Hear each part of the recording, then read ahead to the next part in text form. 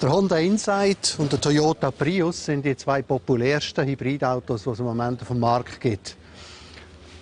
Der Honda ist sogenannter Mildhybrid und der Prius ist ein Vollhybrid.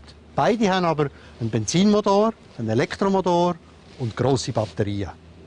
So sieht also die Batterie aus. Sie ist relativ schwer und sitzt wegen dem auch auf der Hinterachse bei beiden Fahrzeugen, einfach für die optimale Gewichtsverteilung. Man muss die Batterie eigentlich sehen als einen zusätzlichen Benzintank, weil da drin speichern wir Energie. Ein bisschen länger suchen muss man, bis man den Elektromotor findet. Der ist nämlich zwischen Motor und Getriebe.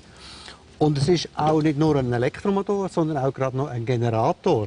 Nämlich wenn man bremst oder wenn man dahin gleitet, dann hat tut die Batterie laden und wenn man Gas gibt, tut er zusätzlich den Motor unterstützen. Man hat also mehr Leistung mit dem Motor, weil der Elektromotor beim Beschleunigen mithilft. Durch die Unterstützung vom Elektromotor verbraucht der Motor natürlich weniger Sprit, er wird weniger gefordert und auch CO2-Ausstoß ist deutlich geringer.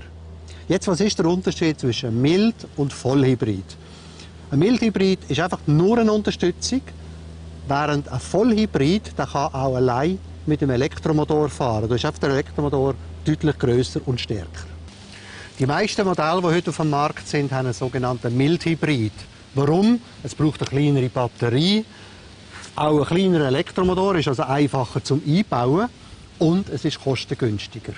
Der Vorteil vom Vollhybrid ist, wenn Sie Spotsnacht heimkommen und in die Garage fahren, können Sie das mit einem Elektromotor machen. Und so gehört sie niemand.